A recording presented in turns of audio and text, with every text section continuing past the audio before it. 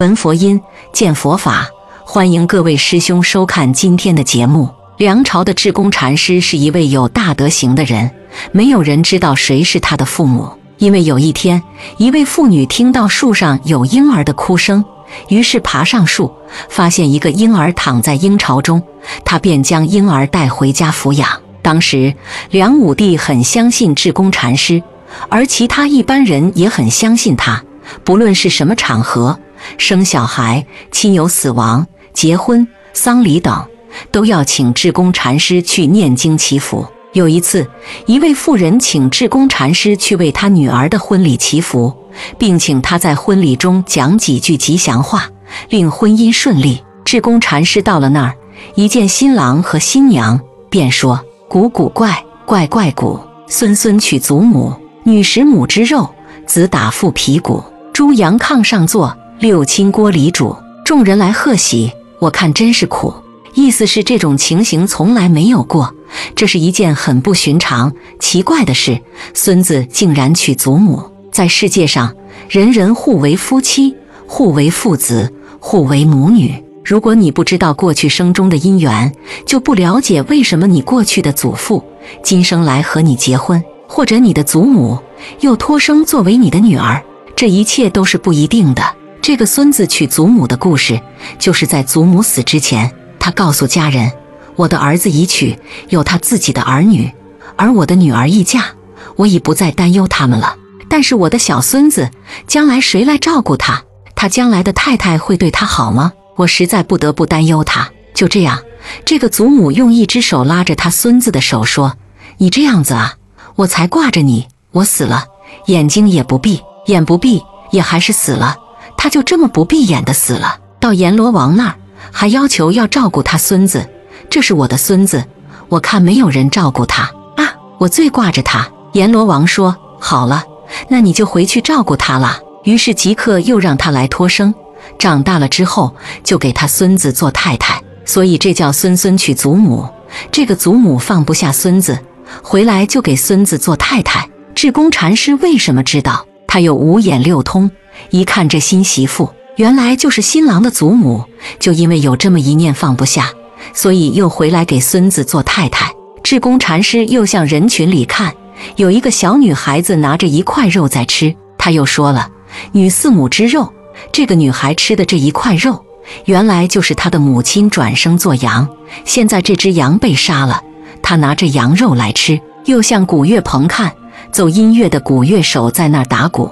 他又说：“子打父皮鼓，这一个鼓乐手打的鼓，正是他父亲做了驴，驴皮被包起来做的一面鼓。又往炕上看一看啊，猪羊炕上坐，这些是他们以前所吃的猪羊，现在都转生做人，和他们做亲戚、做朋友，所以都来在这个家的客厅里边坐着。六亲锅里煮，你看他自己父党之亲、母党之亲、兄党之亲、弟党之亲。”所有的亲戚朋友，因为以前吃猪肉、羊肉，现在都变成猪羊，又被他们杀了，放在锅里来煮。众人来贺喜，大家来到这里看他娶新媳妇了，都说恭喜你呀！这个来恭喜，那个也来恭喜，这样子，我看真是苦。我看这种的情形就是造业，造业就是苦的意思。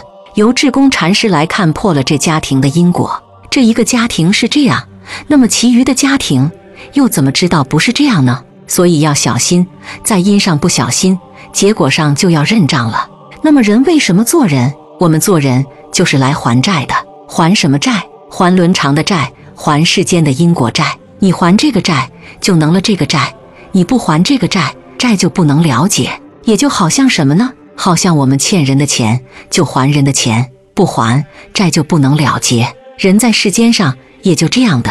我们常说，情人是上辈子的夫妻，那妻子是上辈子的谁呢？从前有个书生和未婚妻约好在某年某月某日结婚，到那一天，未婚妻却嫁给了别人，书生受此打击，一病不起。这时，路过一游方僧人，从怀里摸出一面镜子，叫书生看。书生看到茫茫大海。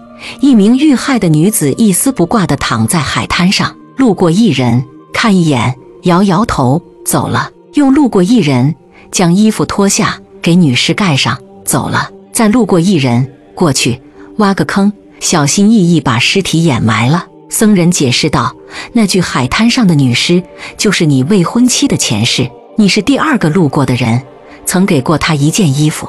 她今生和你相恋，只为还你一个情。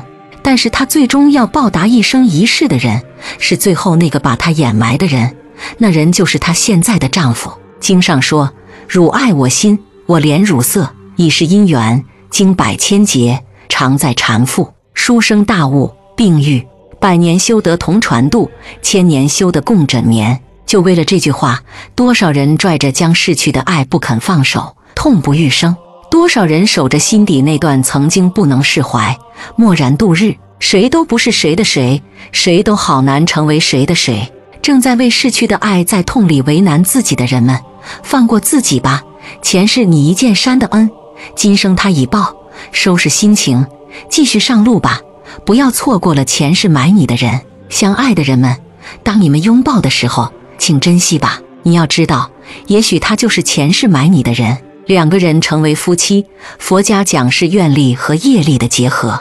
种种愿力业力，经过几生几世之后，不管时空变幻，不论贫富俊丑，还是会发生。或是前世的誓愿，今生偿还；或是感恩报恩，甘愿侍奉。因为愿力轮回中再次相遇，彼此的灵魂认出了对方，常常有一见钟情的冲动。因为觉得似曾相识，一切有为法，尽是因缘和合。在注定的因缘际遇里，我们唯一的选择是别无选择。所有发生的都是应该发生的，都是因缘具足。前世所有的相遇都是久别重逢，今生所有的经历都是上天的恩赐。杭州城隍山城隍庙门口的一副对联：夫妻本是前缘，善缘、恶缘、无缘不和；儿女缘是宿债、欠债、还债，有债方来。所谓夫妻儿女之间，都不外乎四种关系。第一种是报恩的，因与果通三世，两个人在过去生中有恩惠，今生有缘遇到，可能会成为夫妻或者母子关系。夫妻和睦，孝子贤孙。都是相互报恩的，这也是过去修善因的原因。第二种是抱怨的，过去相互之间有仇恨，今夫妻不和，子女不好管教，这是来抱怨的。第三种是讨债的，欠债的要还钱，谁欠谁的，谁就会偿还。第四种是还债，无论男子还是女人，只要是还债，就会付出的更多。夫妻之间无论是哪种关系。都可以通过自己的行为改变。中国传统文化就是教人懂得人与大自然的关系，人与天地鬼神的关系，人与人之间的关系。这些关系之间都少不了因与果。只要把这些关系搞清楚，所有的不顺都能化解。每个人都有自己向往的美好爱情，希望自己将来能遇到心中想象那样的人。其实爱情早就已经注定了。当然，注定的爱情也有可能因为自己的错误行为而发生改变。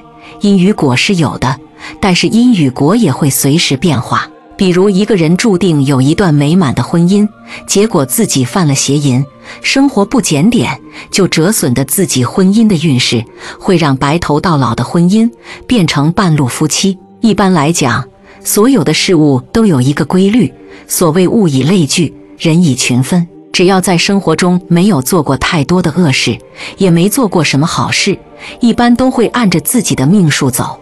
大善之人命运居他不住，大恶之人命运也拘不住他。如果你是一个普通人，那么和谁结婚，往往命中注定。这三个地方告诉你原因：第一，一见如故的吸引。我们常讲一见钟情，确实有这样的人，两个人兴许缘分很深。也有共同的爱好，就很容易互相吸引，最后走到一起。人与人之间有共同语言是很重要的，无论是趣味相投也好，臭味相投也罢，遇到能和自己一起疯一起笑的那个人，就一定是三生有幸。第二，你的才华会吸引和你同样有才华的人。以前讲究家庭要门当户对，其实精神上的门当户对才更重要。两个人。一个人有才华，一个有技术，优秀方向不同，相互之间又比较反感对方的优秀之处，没有共同语言，注定不能长久的走下去。所以你的才华注定会吸引和你同样有才华的人。第三，一个人的人品会遇到同样人品的人。老话讲，不是一家人不进一家门。小气的人，往往一家子都计较，爱占便宜；善良的人和邪恶的人根本就不是一个频道。也不会走到一起。所以说，你的品行好，自然对那些品行不端的人没有感应。人品相同的人才会互相吸引。只要是跟你结婚的那个人，就是最好的。自己是什么样的人，你就会遇到什么样的人。别说自己不幸福，要从自己身上找原因。相同磁场是互相吸引的。好了，今天的内容就和大家聊到这了，我们下期节目再见。